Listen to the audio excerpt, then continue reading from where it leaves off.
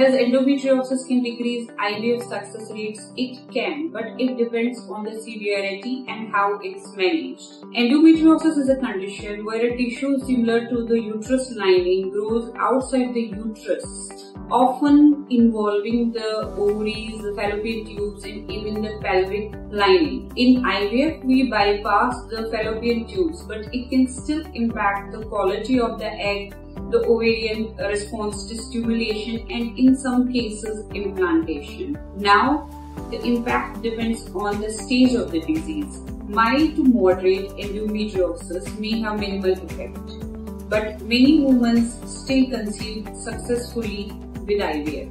Severe endometriosis, especially ovarian endometriosis and deep pelvic lesions may require pre-treatment before IVF and in some cases surgical correction also. So yes, endometriosis can pose challenges but it does not mean IVF won't work. The key is early diagnosed, personalized planning and proper protocol. If you have endometriosis, don't lose the hope. With proper care, pregnancy is possible.